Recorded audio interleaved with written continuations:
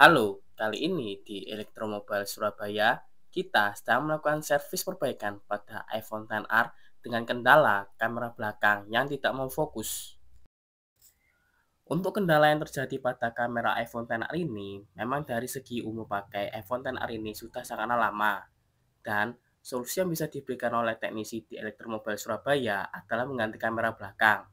Waktu yang dibutuhkan oleh teknisi di Elektromobile Surabaya untuk mengganti kamera belakang iPhone XR ini membutuhkan waktu 2 jam. Dan untuk hasilnya, teman-teman bisa lihat